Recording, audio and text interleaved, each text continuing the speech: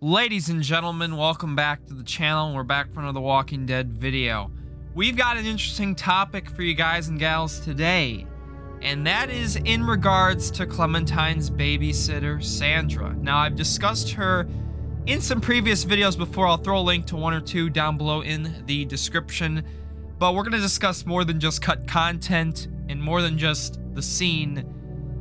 We're going to give you the whole breakdown of stuff that I found and Basically, this video is titled The Tragedy of Sandra. Basically, my entire in-depth breakdown on of everything I found with Sandra and why there was more to her story than what Telltale gave us. There was a lot more to her story and why it kind of sucks and why, to me, it's kind of a tragedy. Alright everyone, if you enjoyed this video, if you do me a quick favor, drop a like and subscribe if you are new to the channel. And let me know what you'd like to see next. I think I'm going to bring back a top 5 or top 10 Walking Dead video next week since you guys really do love those and I haven't done one since last year. Alright everyone, hope you guys enjoyed the video. This is the tragedy of Sandra. Message 1, left at 5.43 p.m. Hey, Sandra. This is Diana. We're still in Savannah.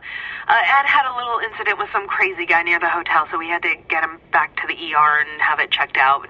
Anyway, he's not feeling well enough to drive back tonight, so we're staying an extra day.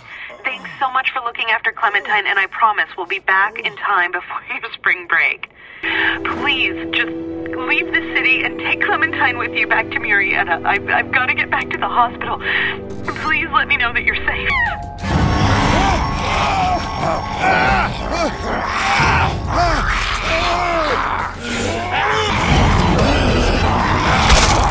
No.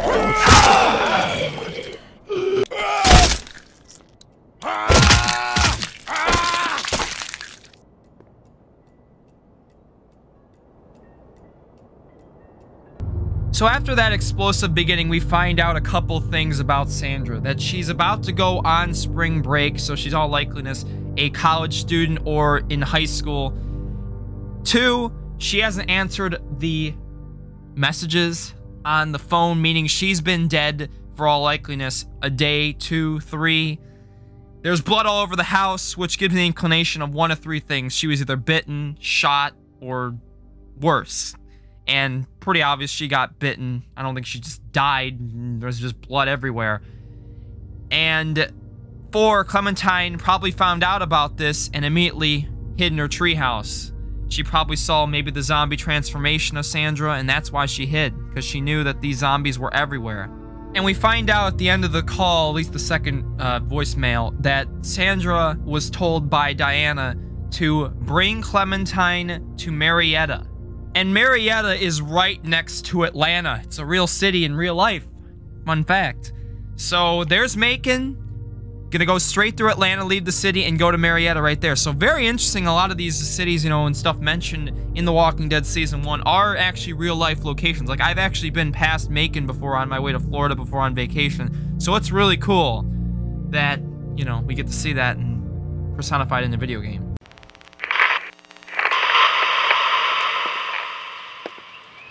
You see it? It's right there. Hold your horses, Clem. Sorry. There's something in the treehouse, and she wants me to get a video of it to show you guys. Look, by the door. It's peeking out. I... I think it's... Yep, got it. Oh, there! Look at there that. There it is. Do you see it? Spoiler, it's a raccoon. Yeah. Oh, no, no, no! Here, your mom wants to talk to you.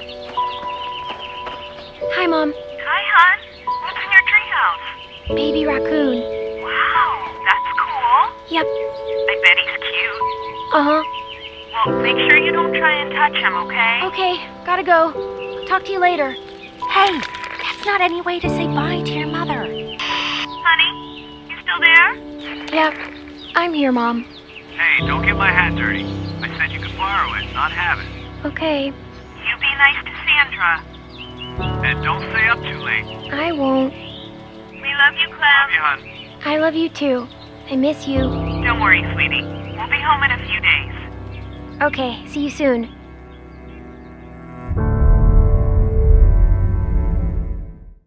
So in that conversation, we find out this was right after Ed and Diana, Clementine's parents, had left for the Marsh house.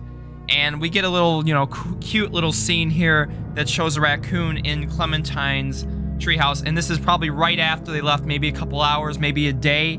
And we're eventually going to find out that this is probably the last moment before the apocalypse starts and Sandra dies. But it was, you know, this basically confirms, yeah, Sandra was alive for at least some time before, you know, Clementine got up. She was already ready to go up in that treehouse by the sound of it, but she was very anxious, you could tell. And it's very sad to see, you know, Sandra like this. Sandra was actually confirmed to be voiced by the voice actor of Bonnie and the voice actor of Molly, which is Erin Yvette. She also voiced the Snow from The Wolf Among Us. So very cool fun fact there that that was probably planned out. Now, after this, you think Sandra's story is over with. In The Walking Dead A New Frontier, a game synonymous with cut content and a lot of stuff that didn't go right. There ended up being a image in the Walking Dead Definitive Edition in the New Frontier category that showed Sandra. And you actually can go find this right now if you have the Walking Dead Definitive Edition. This is real. This is not fake. This is not made up. Sandra is actually in A New Frontier. And like, Dom, why is Sandra in Season 3's Definitive Edition Art Gallery if she wasn't in the main, you know, Season 3 New Frontier? It's because she was cut and I discussed this before, there was a cut flashback planned for Sandra where it was going to be Clementine and Sandra. I think the moment Sandra turned into a zombie, they were going to show us that scene. And I've discussed this before with Meganmi and the video she made covering all the stuff in that. We'll show you a little bit of the clips in a bit, but let's show you the, another image from the Definitive Edition art gallery that confirms a flashback was planned. This is in the Definitive Edition, Clement's house interior showcasing a pre, you know, zombie apocalyptic look at Clementine's house. And this is before everything went to hell. And you see no blood, and it's in the day. So this would have shown the moment Sandra had turned into a zombie. And it looks like Clementine would have actually witnessed this, meaning that it's canon. It's canon, even though if it's cut content, this is probably how the writers had planned for this to go. In all likeliness, this flashback was planned for episode 5 of A New Frontier, being that was the only episode without a Clementine flashback. So it's very sad to see that this happened because they were probably pretty much done with this flashback and like Telltale's done a lot, they just cut stuff out. And I think this would have made A New Frontier a lot better of a game just having just something nostalgic like season one, we would have seen old Clementine. I don't know how the graphics would have been considering A New Frontier doesn't have the best graphical style game, but man, could you imagine how nice that would have been considering, you know, New Frontier, there wasn't really enough Clementine stuff to begin with. So quickly, I'm going to give a shout out to Meganmi. She made this video basically covering the entirety of the Sandra flashback and all the cut stuff. So make sure to check her out. Links down below in the description. I'm going to play a little bit of a video here. Make sure you check it out. Very interesting stuff.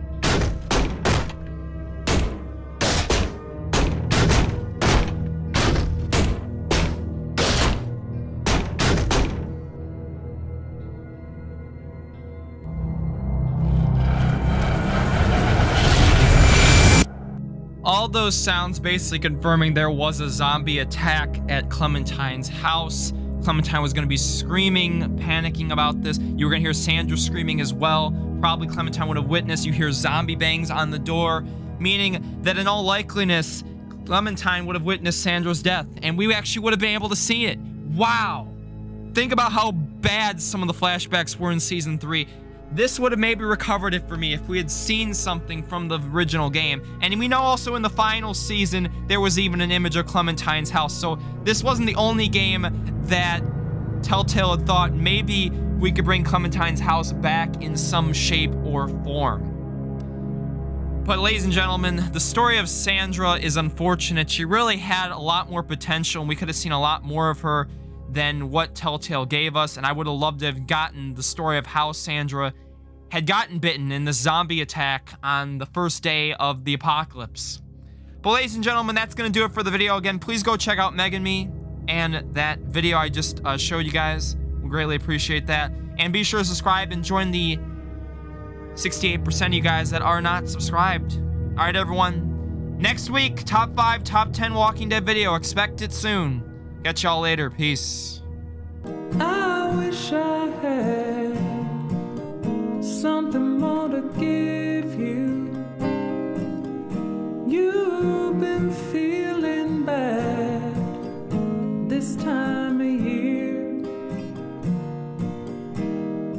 If I could.